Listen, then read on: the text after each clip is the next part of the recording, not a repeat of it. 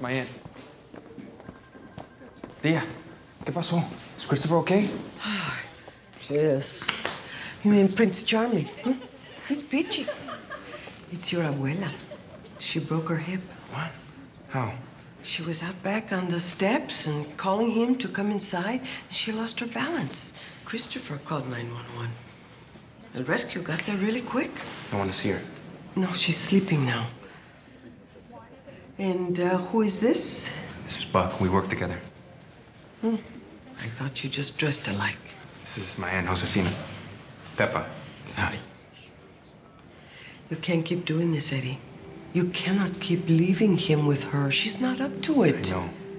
I know, and I'm sorry. I, I'm trying to find some permanent help. It's just too many forms to fill out. It's worse than the VA. I can't believe your gringa ex stuck you with all of this. I'm not stuck, Tia.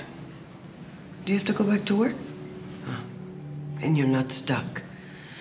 I'll keep him tonight, but you need to get this figured out. Daddy! Buddy. Hey. Must be rough.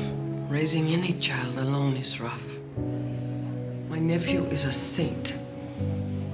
But I pray for him anyway.